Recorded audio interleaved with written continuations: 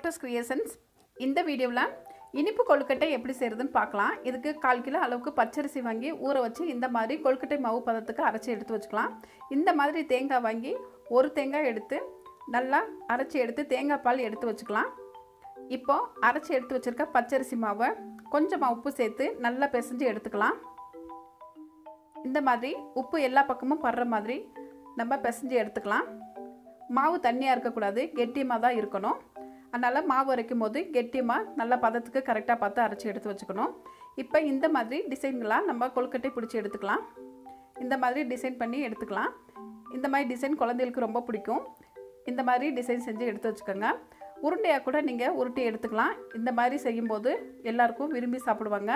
இப்போ அகலமான பாத்திரத்தில் தண்ணி நல்லா கொதிச்சதுக்கப்புறம் நம்ம உருட்டி எடுத்து வச்சுருக்கிற கொழுக்கட்டை மாவு எல்லாத்தையும் போட்டுவிட்டுலாம் இப்போ இந்த மாவு ஐட்டம் எல்லாமே வெந்து வரணும்.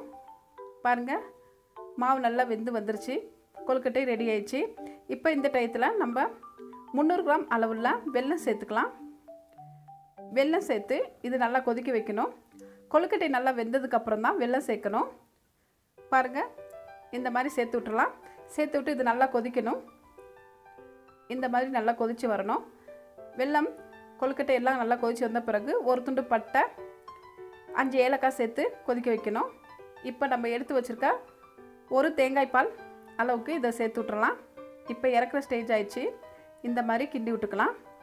இது ஒரு கொதிக்கணும். ஒரு பத்து நிமிஷம் அளவுக்கு கொதிச்சா போதும். பாருங்கள் இது சுவையான இனிப்பு கொழுக்கட்டை ரெடி ஆயிடுச்சு. வெள்ளம் சேர்த்து இந்த கொழுக்கட்டை பண்ணும்போது உடம்புக்கு சுகர் சத்து ஏறாது. அதனால் தாராளமாக எல்லாருமே சாப்பிட்லாம். குழந்தைகளும் சாப்பிட்லாம் பெரியவங்களும் சாப்பிட்லாம்.